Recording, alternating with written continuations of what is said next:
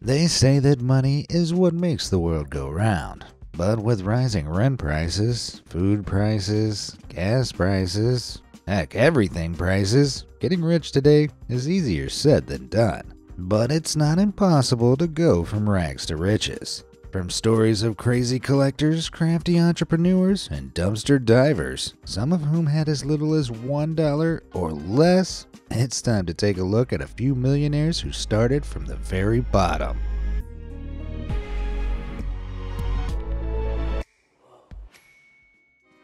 From paperclip to money clip. While growing up in Belcarra, Canada, Kyle MacDonald and his friends used to play Bigger and Better, a game that involved taking a worthless item and trading it for something more expensive.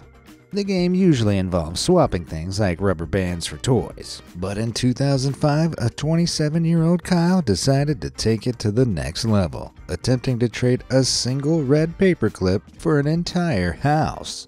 Kyle reached into his $1 box of paperclips, grabbed one, and uploaded a photo of it onto Craigslist, asking if anybody wanted to trade. Surprisingly, two women from Vancouver immediately responded, willing to trade it for a pen that looked like a fish. The pen was pretty awesome, but Kyle decided to trade again, posting a picture of the pen on his blog. From this point on, Kyle embarked on a long journey, making 13 further trades that sent him all over North America.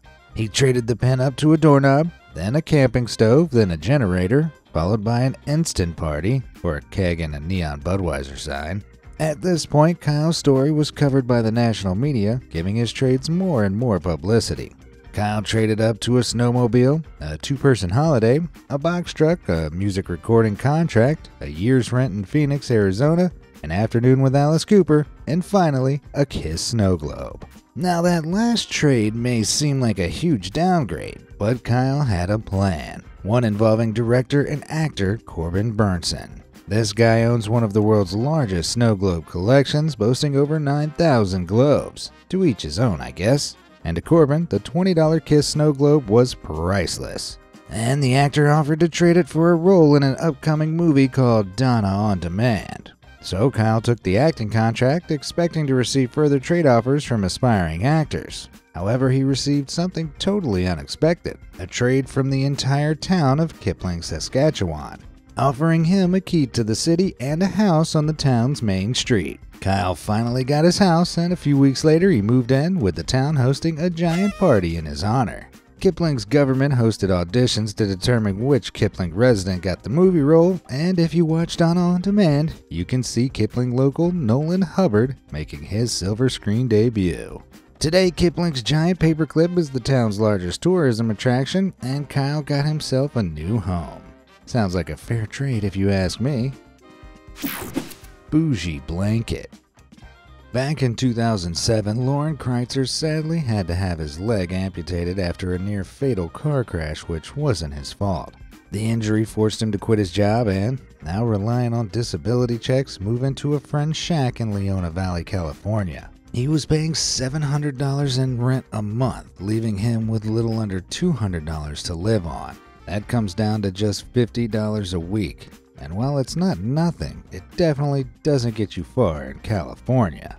So, for the most part, Loren was stuck at home. Now, when you're stuck at home, daytime television can be a lifesaver. And one day in 2017, Loren found himself watching an episode of Antiques Roadshow. As the appraisers went through an endless list of old coins and furniture, they moved on to a first phase Navajo blanket, a rare piece of Native American art that was appraised at an amazing $500,000. Loren leaned forward and squinted. This pattern looked very familiar. He reached to his side and grabbed the dusty blanket that he'd inherited from his great grandmother. The heirloom was old and worn, but as Loren held it up to the TV, he suddenly realized it was an identical match. When Loren took the news to his family, they laughed at him, refusing to believe that the blanket was worth anything. However, undeterred, Loren took the blanket to a specialist. The experts were ecstatic, informing Loren that the blanket was an original, passed down by Loren's great great grandfather, who'd bought it at a trading post in the 1800s. They explained that the blanket was incredibly valuable, convincing Loren to place the heirloom up for auction. Loren obliged, and when the dusty blanket went up for sale, the bids flooded in. The hammer came down on a final offer of an astronomical $1.5 million. So, after fees, Loren walked away $1.3 million richer, allowing him to buy a house, a new car, and a motorcycle. Well, if anyone needs me, I'll be back watching old episodes of the Antiques Roadshow in case any of my junk turns out to be worth millions. Bargain Bull Yard sales are usually full of vandalized furniture, dusty DVDs, and chewed up G.I. Joes. However, back in 2007, an anonymous New Yorker came across this pretty but plain looking 5 inch diameter bowl at a yard sale going for a measly $3. After buying the bowl, they displayed it on their mantelpiece for six years until a friend of the owner encouraged them to have it checked out by a pottery professional. It turns out the owner had unwittingly been displaying a ding bowl, pottery from the Northern Song dynasty in China. The bowl was made between the years 960 to 1127 AD, and the experts immediately valued it at $3. Wait, no, sorry, I meant $300,000. This would have been a pretty good return on investment, but when the bowl was taken to auction at Sotheby's, the item sold for far more. Over the last decade, the economy has boomed in China, and several members of China's newly wealthy middle class have started collecting Chinese artifacts, driving up prices as they try to recover their country's lost and stolen treasures. This meant that the $300,000 bowl sold for a staggering $2.2 million. So this $3 impulse buy turned the owner into a millionaire. I think I'm going to start frequenting more yard sales. Bitcoin billionaires. The value of the cryptocurrency Bitcoin has skyrocketed over the last decade, with the price of a single one of these crypto tokens rising from 14 cents in 2010 to $68,000 in November 2021. That's a 48.5 million percent increase. For perspective, if the Earth's mass was inflated by that amount, it would be roughly one and a half times heavier than our Sun. Whoa. But back around the time when bitcoins were worth around $5 a piece, a netizen known as KnightMB acquired 371,000 coins from his business partner for around $5,000. That seems suspiciously low. And it was, because KnightMB's business partner assumed the coins were worthless and had no value whatsoever, so was thrilled with the $5,000 offer. Somehow they didn't have any idea that those coins at the time were actually worth $2 million, and KnightMB's investment would have grown by an insane 500 million percent to be worth over $25 billion at Bitcoin's peak. However, KnightMB's profit didn't last that long. Instead, he used the value of the coins to get out of debt and then donated the rest to various causes, leaving him with nothing by 2012. But he's not the only investor who failed to keep hold of their coins until that pivotal peak. In 2010, a man called Laszlo Hanyecz ordered two pizzas for 10,000 bitcoins. At Bitcoin's peak, the crypto used to buy those pizzas was worth over $680 million.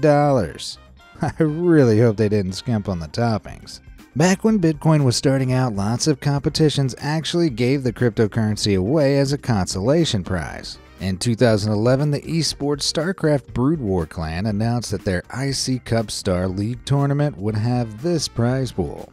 At the time, those 25 bitcoins were worth a little over $40. Just 10 years later, this 8th place prize was worth the whopping $1.7 million. 3,400 times more than first place's 500 bucks. In March 2010, an amateur crypto poker tournament was held with a prize pool of 1,500 bitcoins, splitting the crypto between first, second, third, and fourth place. This amateur prize pool ended up being worth $102 million. In comparison, the most expensive professional poker event of all time had a prize pool of just $82 million meaning that these amateur players were unwittingly playing in the highest stakes poker game of all time. With that kind of pressure, I think I'd fold. Crazy collectibles. As a kid, I couldn't have cared less about money or Bitcoin. The only thing I truly valued was toys. Despite this, toys aren't always child's play, and there are cases of people finding a small fortune inside their old toy boxes. Back in 1983, an anonymous collector from England bought some 93 Star Wars figurines from a grocery store bargain pile before taking them home and storing them.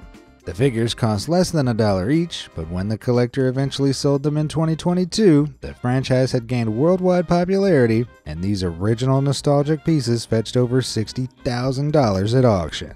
60 grand for some action figures may seem like a lot to some people, but the money in collecting gets even crazier. In 2010, an anonymous couple were kicked out of their home after the bank foreclosed on their property due to unpaid debts. The couple were in dire need of a superhero, and as they started to pack up their belongings, they actually found one. They were rifling through the attic when they came across a box of old comic books. Most were torn and stained, but a few had survived in decent condition, including a comic called Action Comics Number 1. After doing some research online, the couple discovered that the comic marks the first appearance of Superman, and it's widely considered to be the holy grail of comic books, as it brought superheroes into the mainstream. Back in 1938, the comic cost 10 cents, but less than 100 copies of the book still exist, and these rare copies have sold for up to $3.2 million, making it the most expensive comic book of all time. The couple were in shock. However, their version of the comic wasn't quite as valuable as it initially seemed. The experts explained that their comic was slightly damaged, giving it a condition rating of 5 out of 10. In the comic collecting world, the condition can have a drastic effect on a comic's value. However, this was still an Action Comics number 1, and despite the tears and stains, the comic sold for a mega $436,000 at auction. This was more than enough money to pay off the family's debts. So Superman had done what he does best float in and save the day. Million Dollar Homepage. Now, for most people, higher education doesn't come cheap. Many of those who want to further their education, like me, are forced to take out a student loan to pay for college. But back in 2006, Alex Tew from England funded his education with something called the Million Dollar Homepage. It was a website that started as a blank grid of 1 million pixels, an unbelievably simple webpage that Alex turned into a gold mine. The entrepreneur sold advertising space on the grid for $1 per pixel, selling them in 10 by 10 blocks. Purchasers of these pixel blocks could display any image they wanted, and their pixels acted as a clickable link leading customers to their website. The site went live on the 26th of August 2005, and by New Year's Eve, it had gone viral, with companies and individuals buying 999,000 of the pixels on offer. There was one blank space left on the homepage, and Tew auctioned off the remaining pixels, receiving a further $38,000 from MillionDollarWeightLoss.com. Incredibly, Tew had made over $1 million in five months, and he used the cash to go to college and fund other ventures. This genius later moved to San Francisco and co founded a little meditation app you might have heard of called Calm. At the time, the homepage was a modern, revolutionary way to advertise products. But today, visiting the Million Dollar homepage is like traveling back in time to 2005. Ah, yeah, there's just something nostalgic about a free ringtones or hot singles in your area pop up. Dumpster Diver. They say that one man's trash is another man's treasure, but Matt Malone from Austin takes that phrase very literally. Matt is a professional dumpster diver, spending his nights inside dumpsters searching for overlooked and tossed out gems. Matt predominantly finds rotten food, however, his most valuable recoveries include vacuum cleaners, power tools, and electronics, all in perfect working condition. He also claims to have found original artwork painted by Muhammad Ali and a Rolodex containing Donald Trump's cell phone number. He cleans and restores these items before selling them on Amazon and Craigslist for a hefty profit. Matt might deal with junk, but his earnings definitely aren't trash, with his hobby making him over $100,000 a year. That's a ton of cash, and Matt only dumpster dives part time, working as a security consultant during the day. Matt reckons he could easily make $250,000 a year if he gave the hobby his full attention. However, he'd have to spend almost all his time rifling through the trash. That would sting. All or nothing. For those who don't know, in the world of gambling, an accumulator is a type of sports bet that involves multiple bets combined into one. For example, you can bet on the results of four football games at once, and to win, all of your bets have to be correct. If just one of your bets is wrong, though, you lose the entire thing. They're the definition of high risk, high reward, and most of the biggest sports betting wins have come from accumulators. So when risk taker Stephen Whiteley, a heating engineer from England, received free tickets to the horse races and a newspaper promotion, he decided to really push his luck. When he arrived, Stephen created a 2 pound accumulator, about $2.50, betting on a random horse for each of the day's six races. Against all odds, the first five horses easily won their races, meaning that Stephen's bet came down to the final contest of the day. Unfortunately, Stephen had accidentally bet on the worst performing horse at the entire event, a slow horse called Lupita that had lost all its previous competitions. As the race got underway, Lupita predictably started to fall behind, until a miracle occurred. Halfway through the race, the three best horses all fell at the same jump. This made room for Lupita to take the lead and storm over the finish line, making Stephen 1.4 million pounds richer, around 1.8 million dollars at the time. Both Stephen and Lupita had won their first horse races. And while I'm sure Lupita will go on to win many more, I hope Stephen quit while he was ahead. Double jackpot. Hollywood would have you believe that Vegas casinos are full of James Bond types sipping shaken martinis while smoldering at a poker table. In reality, the majority of casinos look like this all bright lights and slot machines. Slot machine odds are some of the worst, ranging from a 1 in 5,000 to 1 in about 34 million chance of winning the top prize when using the maximum coin play. That said, it's no surprise they account for up to 80% of a Vegas casino's annual revenue. But while they say that the house always wins, sometimes Lady Luck falls on the gambler's side, and no slot machine player has ever been luckier than Elmer Sherwin. In 1989, Sherwin and his ex-wife visited the Mirage Hotel and Casino in Vegas. Sherwin borrowed 20 bucks from his ex, and after playing on the $3 slots for 90 minutes, he hit the jackpot, winning $4.6 million with a single yank. This million dollar jackpot was a once in a lifetime win. Only for sure when it didn't only come once in a lifetime. In 2005, he headed to the slots and cannery casino, and after playing for a few hours, he won again. This time it was a whopping $21 million jackpot. The odds of winning the jackpot once are around 1 in 50 million, and the chances of winning it twice holds the same odds of getting struck by lightning 100 times in the same year. Instead of singed eyebrows, Sherwin's luck left him with a small fortune. And before passing away in 2007, he split most of the winnings between charity, his kids, and of course, slot machines all over Las Vegas. What did you think? He was going to stop playing? Instant billionaire. Let's move from slot machines to the lottery. At $2 a ticket, entering the USA's Mega Millions lottery seems pretty affordable. However, the odds of winning are actually around 1 in 302 million, so you're probably better off saving your cash.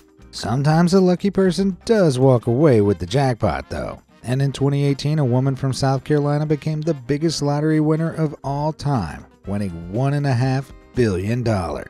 Yep, that's billion with a B.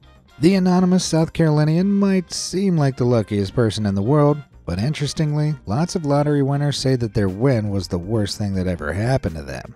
One of these unlucky millionaires is Michael Carroll from Norfolk, England. In October 2002, Michael was a garbage man making ends meet while working 9 to 5. A month later, he won $11.7 million in the lottery, becoming an overnight millionaire. This win allowed Carroll to buy jewelry, cars, and property, However, it also led to alcoholism, court cases, prison time, and eventual bankruptcy. Within five years of his win, Carroll was back to working in manual labor, though he partially blamed his misfortune on money hungry friends and family, taking his cash without supporting him. When the billionaire from South Carolina won, they chose to remain anonymous, and judging from Michael Carroll's story, that seems like a pretty good call. Junkyard King when Ron Sturgeon was 17, his father died, leaving the teenager with nothing but $2,000 and a beaten up VW Beetle. Ron didn't have anywhere to live, so he spent the two grand on a trailer in Fort Worth, Texas, and got a job repairing other people's Volkswagens. Ron would fix VWs with parts from abandoned cars at his local junkyard. As he earned money for repair jobs, he'd purchase junk cars, strip them of their parts, and reuse them in his customers' vehicles. Before long, Ron had accumulated around 35 cars, and he soon realized that instead of using the parts to fix other people's VWs, he could just sell them. If he bought a good junkyard car for $100, he could sell the parts for at least 150, earning a profit every time. Every week, Ron would go to a junkyard and examine their cars, aiming to buy them and flip their parts. Ron's business plan was pretty foolproof, and within a few years, he'd bought his own salvage yard and warehouse. The beater businessman was able to move out of the trailer park, and the company was so successful that Ford bought it for $15 million in 1999. This could have been the end of Ron's story. However, Ford started to run the business into the ground, and after a couple of years, they sold it back to Ron at a hugely discounted price. After reclaiming control of the company, Ron was able to use his expertise to turn it back into a profitable business before selling it again for tens of millions of dollars. Today, Ron is out of the junk game, and the Texan has managed to swap his trailer for several mansions and junk cars for private jets. That's what you call an upgrade. Trash to cash. Let's keep it trashy and turn our attention to another company that's made millions with pure junk. College hunks hauling junk sounds a little dirty. And it is. The multi million dollar company dealing with private waste removal. Today, Hunks is a successful company, but the venture had very humble beginnings. In the summer of 2003, Nick Friedman and Omar Soliman wanted to make some extra money for college, so the duo decided to take Omar's mom's van and drive it door to door, offering to collect people's trash. They earned over $9,000 that summer, and the service was so successful that they continued to receive calls after they headed back to college. With graduation looming, the duo were expected to start applying for office jobs and begin adult life. However, Omar still had faith in their business idea, so he decided to write up a business plan and enter the highly competitive Leigh Rothschild entrepreneurship competition. Against all odds, Omar's plan won, earning the top prize of $10,000. With this money, the duo decided to focus on the business, buying a truck, and creating the Hunks brand. The company started by posting flyers and hiring college kids from the University of Maryland, paying them to haul trash. A year in, they had to buy four more trucks, and after two years of rapid growth, they decided to franchise the business, allowing other people to open their own hunk stores across the country. Today, the business has over 50 franchises, 200 trucks, and they make 25 million in annual revenue, proving that for Nick and Omar, our trash really is their treasure. Reinventing the wheel. You can't reinvent the wheel. However, you can use wheels to invent something else, it turns out. Globally, 1.8 billion tires are discarded every year, an act that's placing a terrible strain on the environment. As climate change gets worse, lots of people are trying to find ways to recycle this discarded rubber, and one of the most interesting ways where this is being done is in Kenya. The Maasai are a group of people that live in East Africa, with distinctive customs, language, and dress. The Maasai technique for making sandals has remained largely unchanged for hundreds of years. However, recently they've started switching up the materials they use, making the sandals out of discarded tires. These cobblers use the smooth side of the tire to make the top of the shoe before using the grippy tread to build the sole. The shoes won't increase your horsepower, but they might give you more miles to the gallon. Tire rubber is incredibly durable, designed to carry heavy vehicles over asphalt. As a result, the shoes have been dubbed 10,000 milers, and the durable design has become incredibly popular. Shoemakers like Munyao here, who's from Nairobi, can reportedly make up to 7 to 8 pairs of shoes per tire and sell them for up to $5 a pair. Munyao collects the discarded tires himself, so he makes a decent living without spending any money on materials. Well, he's not reinventing the wheel, but he is saving the planet. The Pursuit of Happiness. Today, Chris Gardner is a millionaire stockbroker, a best selling author, and motivational speaker. He's the definition of success. But it wasn't always that way. Back in the 80s, Chris was a single father making ends meet as a medical equipment salesman. One day, while walking to work, Chris happened upon a man in a suit climbing out of a red Ferrari. Intrigued, he approached the man and asked what he did for a living. The man explained that he was a stockbroker, and after a long conversation, Chris managed to persuade him to get him an interview for an internship at a stock brokerage firm. Incredibly, Chris impressed the firm and got the job. However, the internship was unpaid, forcing him and his son to become completely homeless. Gardner used what little savings he had to put his son in daycare while he worked, but at night they were forced to eat in soup kitchens and sleep in a locked public restroom. Despite this, Gardner suited up every morning and headed to work, wowing the company by arriving early and staying late. After a year of living rough, Gardner was hired as a full time employee, finally able to use his salary to buy a house for himself and his son. After working for a few years, he started his own brokerage firm and wrote an autobiography, a book that was adapted into the Oscar winning film The Pursuit of Happiness. Today, Gardner has a net worth of about $70 million, and the businessman even bought a Ferrari of his own. This story has inspired millions around the world, including Nick Mokuda, another homeless man turned millionaire. When Nick moved from Romania to LA at 21, he had no money, was forced to sleep on a bench, and survived on a single dollar menu burger every day. After a while, Nick managed to get a job as a valet, and he started saving immediately, pinching his pennies until he could afford a real estate broker's license. Once in real estate, Nick started saving serious money, and in 2013 he decided to use his savings to experiment with e commerce, buying cheap electronics online and reselling them on eBay. Nick's e commerce business was soon earning $48,000 a year, and today Nick owns multiple online stores with Amazon and Walmart. So instead of benches and burgers, now he's dining on champagne dinners. He might not have a Ferrari like Gardner in his car collection, but he definitely had the drive to be a millionaire. So that about wraps up our look at these unlikely moneymakers. Which rags to riches story did you find the most inspiring? Let me know in the comments below, and thanks for watching.